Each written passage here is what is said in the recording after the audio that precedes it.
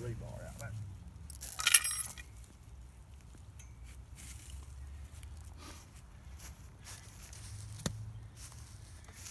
All right, what's that, your phone?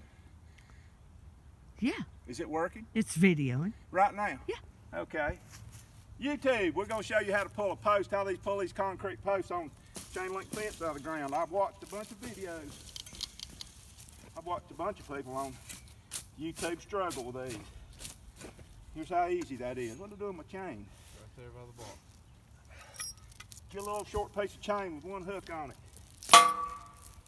Pull it up there about six inches. Go up here and close where you can watch. Can't see shit from back there. There you go. Leave your little chain out like that. Go underneath. And go underneath again. Just like that right there. Get it about that much. Right, like so. Hopefully it'll bite. Take your cement block. Set your cement block about that far away from it pull your chain up around it like that.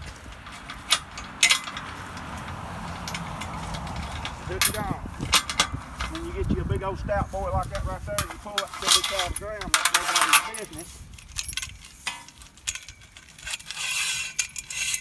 And it's been wet here because it's been raining. Then you take that sledgehammer, get on the thin spot, about three or four licks, and you've got an empty post. Y'all come back soon. Thank you.